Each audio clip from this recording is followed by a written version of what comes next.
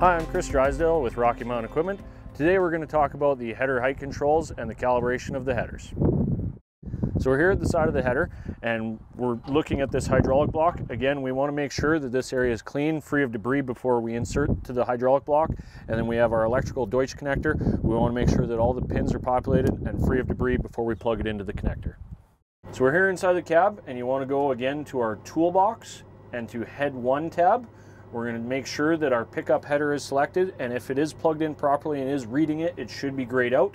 We'll double check and verify our header widths, our target work width, as well as our maximum working height, but we'll get back to that. In header two, this is where we're going to enable or disable sensors, as well as change our response rate and our hydraulic response rate as well for the header height raise and lower rates. So if we go to calibrate, we'll go into the calibration menu, go to the bottom left tab, select header from the menu, and then it will walk us through the steps. This takes about three to five minutes, and as long as our sensors are in range, you shouldn't have an issue.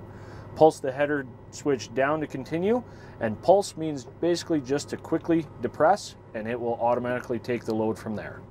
So once we're done the calibrations, we're gonna go back to Toolbox and select Head 1 tab, and back to our maximum working height, we simply touch that, it'll pop up, and you see a black bar representing where the header position is currently from 0 to 100 on the potentiometer. This red line indicates our data recording threshold, so we can simply touch it anywhere on the monitor and that would change the position that the header would actually stop recording at as we raise it. And that's very important. You will get a pop-up if that position is too low.